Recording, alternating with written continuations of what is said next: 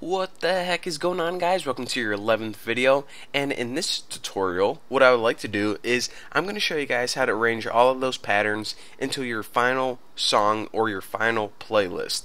And also if I have time, this is probably going to happen in the next video, but I'm going to show you guys how to ex include external sound effects or external sound bites in your file. So let's go ahead and check it out by first opening the playlist. And of course to do that we click this button up here and boom, our playlist pops up.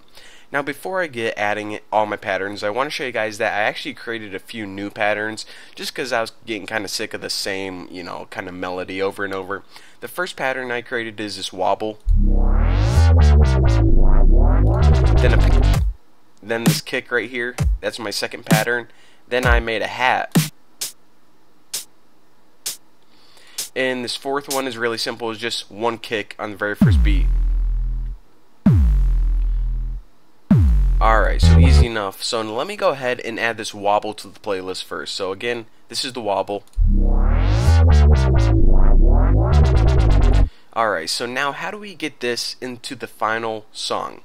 Well, the easiest way is just to make sure it's selected from your playlist or step sequencer, and then there are a couple of different tools we can use to add it to the playlist, which, like I said, is your final song.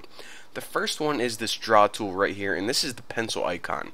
Now, whenever you click on your playlist, it adds one measure. So we can add one right there. Of course, anywhere we click, it's going to add. And just like before, we can move it around or also right click it to get rid of it. So go ahead and add that and of course you want to move it around to make sure it's at the very beginning. But the reason that I don't like this is because typically you want to add multiple measures at once or multiple patterns at once. So I want this to loop throughout my whole song. So if I just drag, that's not going to work. So that is why I like this tool. I always prefer the paintbrush tool. This one, as you can see, what I'm about to do, if I click down on a track and I drag it, then it's going to allow me to loop that pattern and it paints it rather than having to click it a million times. So now Again, make sure you move all the way to the left. And just like the piano roll, you can zoom in to make sure that you're moved exactly where you want it to be. So now if we go ahead and switch to song mode, right here, we can go ahead and play the song.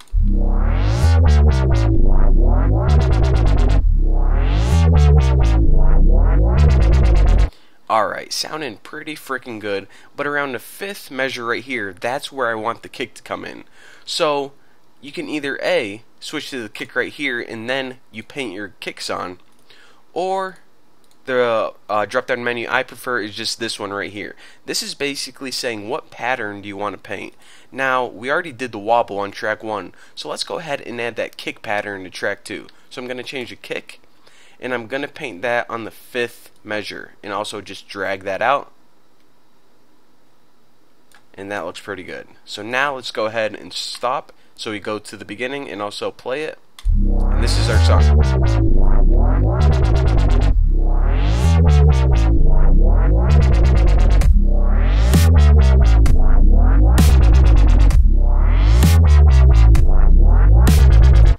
Keeps looping like that. So now what I need to do is I want to add that hat.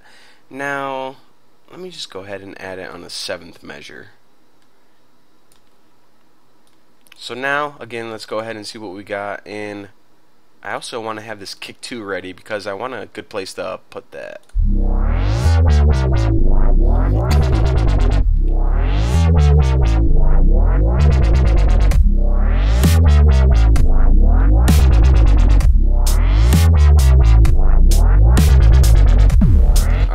Want one right there and the timing was a little off and I probably want one right here I'm feeling.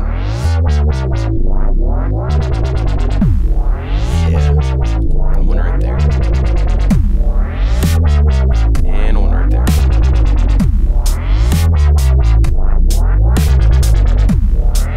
Alright, so that is basically how you can use the paintbrush tool and also the draw tool to add multiple patterns to your playlist. Now remember, I prefer the paint tool and uh, to be honest, there isn't that much to making a very basic song. You just select what pattern you want, and then you add it on whatever track you want. The only thing that I would recommend for beginners is don't put multiple, even though you can do this technically, don't put multiple patterns on the same track when you're starting out. For example, don't put um, wobble on this track and then don't put the kick later on on the same track. It can be kind of confusing. Um, stick with one pattern per track for right now until you get a little more experience because if not, it's just going to confuse you guys. And in the next video, what I'm going to show you guys how to do is something really sweet. How to bring in an external song or an external sound clip, and then we can either tweak it itself or dub over it to make like remixes and stuff like that. So thank you guys for watching. Don't forget to subscribe, and I will see you guys in the next video.